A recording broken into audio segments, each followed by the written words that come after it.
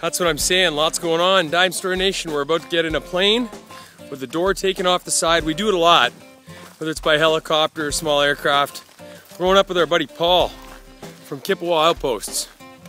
And we're gonna have a lot of fun. We're going up right now in a plane. We're taking the door off. We're gonna get some visuals and overheads in the plane of the area, Kipawa Lake. It's gonna be a lot of fun.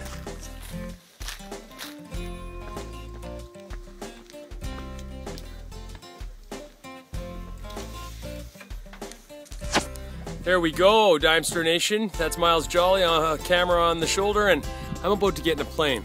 That plane right there with my buddy Paul. Say hi, Paul. How you doing? There you go. We're going up in his plane here. We're gonna get some overhead scenics. He's been kind enough to say, hey, I wanna do something positive for the community. We're getting up there in the air. We're gonna take some pictures of this amazing area of Kipawa Lake, Quebec, and uh, it's gonna be pretty exciting stuff. Okay.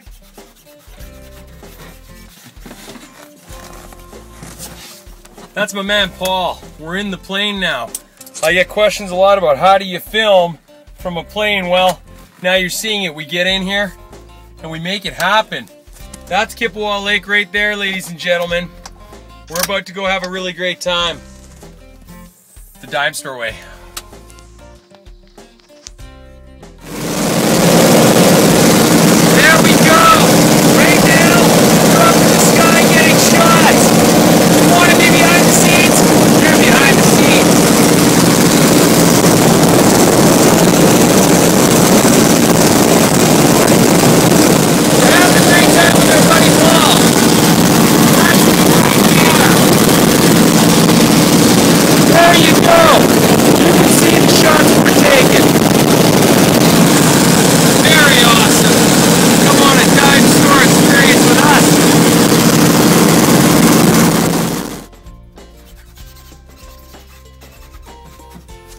So here we are, round two. We're gonna go up and uh, get some really cool stuff. Paul's doing a great job. We got some really neat stuff, and uh, yeah, can't wait to share it with you on the show. And uh, might even give you a snippet on the uh, on the Facebook and the YouTube. Uh, there's my man Miles. You're getting a bit of my hand in there, but uh, Hi guys. yeah, there's Miles as usual, and there's Paul getting the plane filled, and uh, the whole gang's here. So uh, pretty cool to be behind the scenes in a situation like this, uh, where we're going up in the air and uh, hope you're enjoying it. Right on.